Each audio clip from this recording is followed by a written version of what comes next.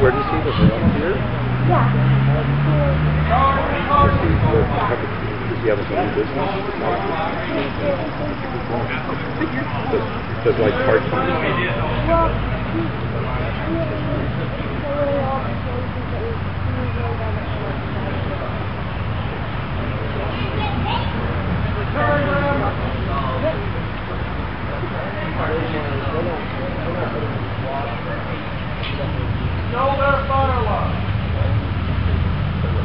Just people in the car. Oh my god.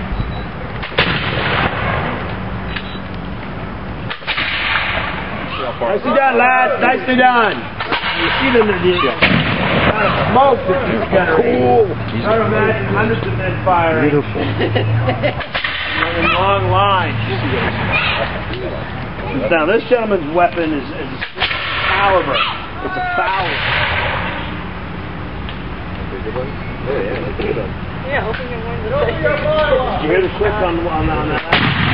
These weapons are not totally reliable. You will have misfire.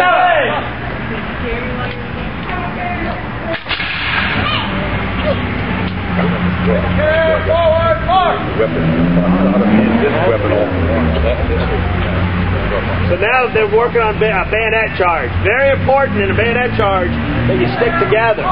That's where these gentlemen on the right, the riflemen, they're at a disadvantage. They can't put a bayonet on their weapon. Um,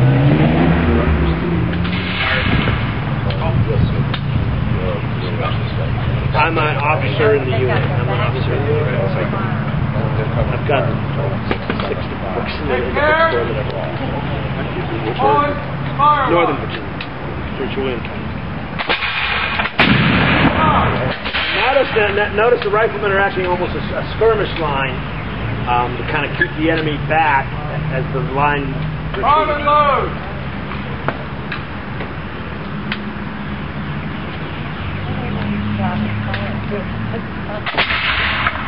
retreats.